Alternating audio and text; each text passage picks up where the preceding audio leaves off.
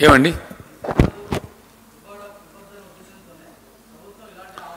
ఎవరో విధవలు మాట్లాడతారు మేము పట్టించుకోమండి.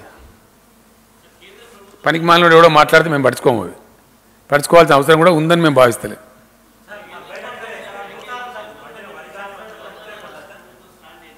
ఏమండి? అది వట్టి డొల్లా హండ్రెడ్ పర్సెంట్ బోకస్. ఇది నేను చెప్తలేను. వినాలి మీరు వినాలి నేనే అడిగిన నేను అడగలేదు అంటాను ఇప్పుడు అడుగుతా. ఇచ్చిన పద్ధతి ఏందనేది ఇగో ఏషియన్ ఇన్సైట్స్ అని సింగపూర్ నుంచి వస్తుంది international journal. How potent is the economic vaccine of India ఇది వట్టిదే బోకసు. ఇందులో ప్రభుత్వం పెట్టేది లక్ష కోట్లు కూడా లేదు.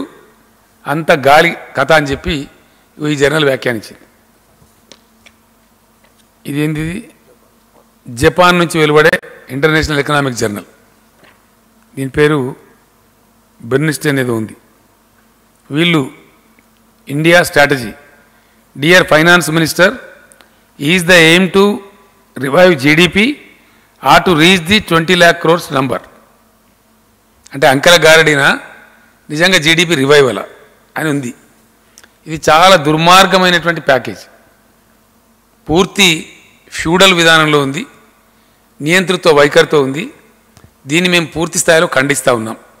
మేము అడిగింది మేము కోరింది ఇది కాదు.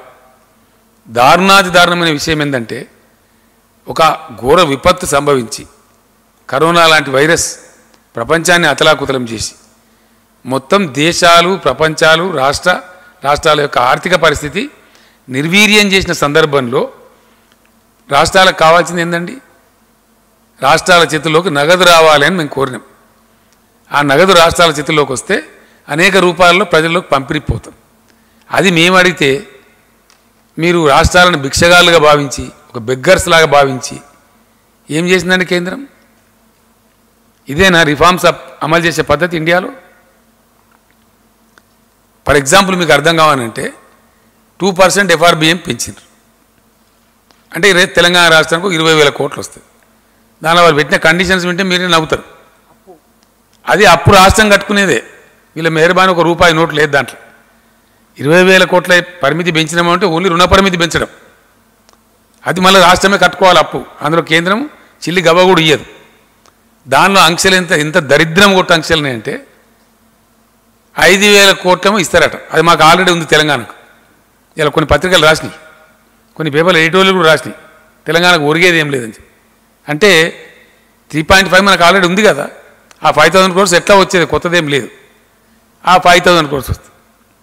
మిగిలిన రెండున్నర వేల కోట్లకు ఒక reform అంక్ష every two and half thousand crores current reform తెస్తే ప్రజల నెత్తి మీద మెడ మీద కత్తి పెడితే రెండున్నర వేల కోట్లు ఇతరట ఇదేనా? ఈ ప్యాకేజా వాట్ ఈస్ దిస్ ఈ ప్యాకేజ్ అనరు. వెరీ సారీ ఇది ఒక ఫెడరల్ వ్యవస్థలో అవలంబించాల్సిన విధానం కాదు. కేంద్ర ప్రభుత్వం రాష్ట్రాల ఇట్లా వ్యవహరించచ్చునా? ఎంత దుర్మార్గం అండి. ఈ ఈ- విపత్కర పరిస్థితులలో. సో అట్లా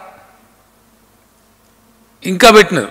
మార్కెట్ కమిటీలలో వాళ్ళు చెప్పిన కేంద్రం పెట్టిన రిఫార్మ్ చేస్తే ఇంకో రెండున్నర వేలు కొట్టిస్తారట. మరి రాష్ట్ర ప్రభుత్వం ఎందుకు ఈడ మున్సిపాలిటీలలో ట్యాక్సులు పెంచి ప్రజల మీద భారం వేస్తే ఇంకో రెండున్నర వేల కోట్లు ఇస్తారట. రిఫార్మ్స్. మున్సిపాలిటీల ఆదాయం వేస్తే. ఇది ప్యాకేజ్ అంటారా? ఏమంటారు దీన్ని? ఏమనాలా? ఇజ్ ఇట్ ఏ ప్యాకేజ్ ప్రోత్సహించే విధానమేనా ఇది? ఇంకో దానికి ఇంకేదో పెట్టిండ్రు. One ration. One one nation one ration card. సరే అందులో మనం నంబర్ వన్ ఉన్నాం ఈజ్ ఆఫ్ డూయింగ్ మేము ఎప్పుడో చేసినాం. వీఆర్ ఛాంపియన్స్ ఇందులో నాలుగిట్లో మూడు సాటిఫై చేస్తే ఇంకో ఐదు వేల కోట్లు ఇస్తారట ఇదేం బేరం అండి? ఇదా? దీని ప్యాకేజ్ అంటారా ఇది పచ్చి మోసం దగ అంకెల గారడి అంత గ్యాస్. కేంద్ర ప్రభుత్వం తన పరువును తానే తీసుకున్నది. ఇది రాబోయే రోజుల్లో తెలుస్తుంది కదా. ఆటోమేటిక్గా బయటపడితే ఆగుతుందా? ప్యాకేజ్ నిజం ప్యాకేజ్ అయితే ఎట్లుంటుంది? బోకస్ ఉంటే ఎట్లుంటుంది అనేది తెలుస్తుంది ప్రజలకు తెలుస్తుంది. మా బాధ్యత కాబట్టి మేము చెప్పాలి కాబట్టి చెప్తున్నాం.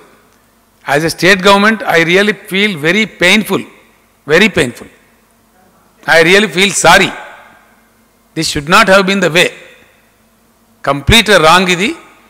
రాష్ట్రాల మీద ఈ రకమైన పెత్తనాలు చెలాయించడం ఈ సమాఖ్య వ్యవస్థకే విఘాతం. కోఆపరేటివ్ ఫెడరలిజం అని ప్రధానమంత్రి గారు చెప్పిండు. అది పూర్తిగా డొల్లా బోగస్ అనేది ఇలా దీంతో రుజువైపోయింది. ఇంకెక్కడ ఫెడరలిజం ఉందండి? చాలా దారుణంగా బిహేవ్ చేస్తున్నారు. ఈ సమయంలో ఈ విపత్కర టైంలో మీరు ఇది చేస్తే పైసలు ఇస్తాం. ఇదే పిల్లల కొట్లాడనా? ఇదేనా? ఇది ఏమాత్రం వాంఛనీయం కాదు. ఇది అన్యాయం. మెడ మీద కత్తి పెట్టి నువ్వు కరెంట్ రిఫార్మ్ చెయ్యి ఇస్తావు నీకు బిచ్చం ఇస్తా రెండు వేల కోట్లు. ఇదేనండి? నువ్వు ఫలాంది చేయి మున్సిపల్ ట్యాక్సులు పెంచు మున్సిపల్ ఆదాయం పెంచు అయితే రెండు వేల కోట్ల భిక్షమిస్తా ఇదా? Can this be treated as a package నేనేమంటున్నాను మనం చేస్తాం చేయమనేది కాదు విధానం కరెక్ట్ కాదు. తెలంగాణ డెఫినెట్గా ప్రోగ్రెసివ్ స్టేట్ కాబట్టి నేను మీకు చెప్తా ఉన్నా. వాళ్ళు పెట్టిన కండిషన్లో మూడు కండిషన్లు ఎప్పుడో ఫుల్ఫిల్ చేసినాం మనం. నంబర్ వన్ ఉన్నాం కంట్రీలో one nation one ration card దాంట్లో. ఈఓడీపీలో మనం ప్రపంచం మనం ప్రశంసిస్తూ ఉంది టీఎస్ ఐపాస్ ఆల్రెడీ ఉన్నాం మనం. కొత్త నిబంధన ఏం లేదు. మనం తీసుకోవచ్చు. Current reforms. ఎస్ మేము క్యాబినెట్లో కూడా చర్చ చేసినాం. మేము చెయ్యం. ఆ ముష్టి రెండున్నర వేల కోట్లు తీసుకోము అవసరం అనుకుంటే. అది నెక్స్ట్ మళ్ళీ ఇక. అది ఇంకా దారుణంగా ఉన్నాయి అవన్నీ. కంప్లీట్ ప్రైవేట్ ఇంకేముండదు ఇక. తట్టుకొని నిలబడతాం. అది మన అప్పే కదా బాబు. అదేదో మేర్బాన్ లేక నీ జేబులోకి నా జేబులోకి ఇచ్చినట్టు. అది మా డబ్బే కదా రాహుల్ గారు. మన ఓన్ సోర్సు. ఎప్పుడైనా పైసలు వెళ్ళకుంటుంటే ఎక్కువ ఎక్కువ డ్రా చేయడానికి అవకాశం. అది ఎంతనాయో ఐదు ఆరు వందల కోట్లు.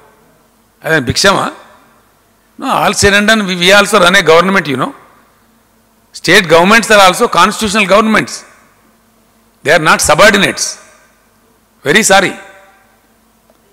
more more responsibilities more duties are there on the state governments. Much more. States have more responsibility directly to the people than the central government. It's a fact